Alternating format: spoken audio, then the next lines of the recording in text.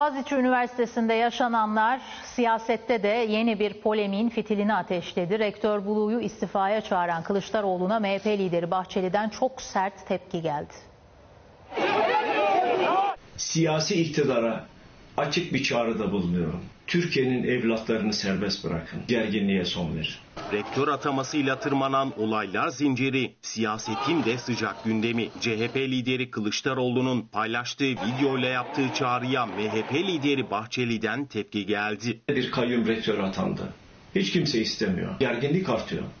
Çocuklarımıza şiddet uygulanıyor. Kılıçdaroğlu aklını peynir ekmekle yemiş ya da iradesini ve siyasetini terör örgütlerine rehin bırakmıştır. Türkiye'nin böyle evlatları yoktur. Çocuk veya öğrenci dedikleri vandaldır, barbardır, gözlerinin kan ve nefret bürümüştür. Bahçeli bu tip senaryoları daha önce gördük. Terör diline teslim olmayacağız dedi. İstifa çağrısını da değerlendirdi. İstemiyorlar rektörü. Orada oturmaya devam ediyor.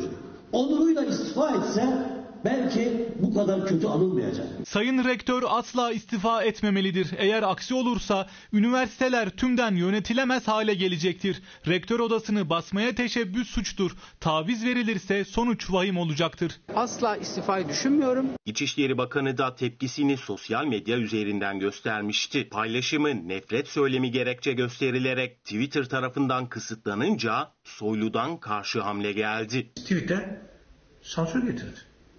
Bundan sonra Telegram hesabımı aktif şekilde kullanacağım. Boğaz içinden yeni bir gezi çıkarmak isteyenlerin tuzağına gençlerimizi düşürmeyiz.